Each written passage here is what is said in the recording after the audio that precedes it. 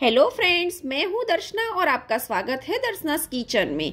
Strawberry और ice cream की season आ गई है। आपने अभी तक आइसक्रीम ना बनाई हो तो जल्दी से बनाए हेल्दी स्ट्रॉबेरी आइसक्रीम।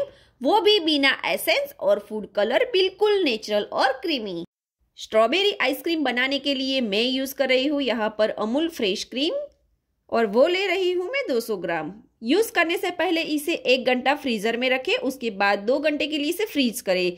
जिससे कि इसका बर्फ़ है वो पिघल जाए और ये अच्छे से चिल्ड हो जाए। ध्यान रखिए कि क्रीम को ढक्कन से नहीं निकालना है। इसकी जो दो साइड है, उसको हम कट कर लेंगे और उसकी जो ऊपर ऊपर की गाढ़ी क्रीम है, उसे हम निकाल देंगे। ये क्रीम लो फैट होती है, जिससे नीचे जो पतली क्रीम रह जाती है, इसका यूज़ ना करें। नहीं तो आपकी क्रीम नहीं बनेगी। अब इसे बीटर की मदद से बीट कर लेंगे। पहले इसे एक स्पीड पे चलाते जाएँगे, जब तक कि इसमें थोड़ा सा चेंज ना दिखे। उसके बाद स्पीड को बढ़ाएँगे और क्रीम को बीट कर लेंगे। क्रीम पहले से डबल नहीं हो जाती, तब तक इसे हम बीट करते रहेंगे। देख सकते हो, ये क्रीम बीट हो गई है। आइसक्रीम बनाने के लिए आप केक की तरह क्रीम को इतनी थिक नहीं कर सकते हो, तब भी ये आइसक्रीम अच्छी ही बनेगी। नेक्स्ट, इसमें ऐड करेंगे कंडेंस मिल्क 100 ग्राम।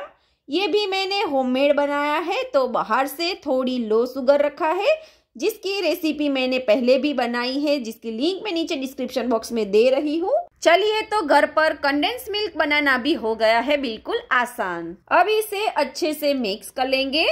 बहुत स्मूथ हो गया है। अब इसमें ऐड करेंगे एक cup strawberry pulp half cup strawberry के छोटे छोटे पीसीस जो बहुत ही आपको आइसक्रीम में चंकी लगेंगे।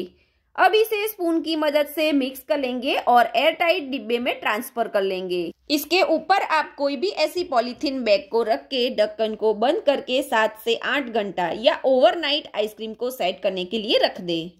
तैयार है natural creamy homemade strawberry ice cream इसे सर्व करते हैं।